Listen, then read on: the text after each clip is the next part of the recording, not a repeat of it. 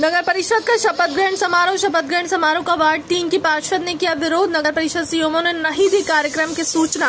कार्यक्रम का मंच से पार्षद शालिनी सोनी ने किया विरोध। मैं मैं सीएमओ साहब से बात पूछना चाहती हूँ।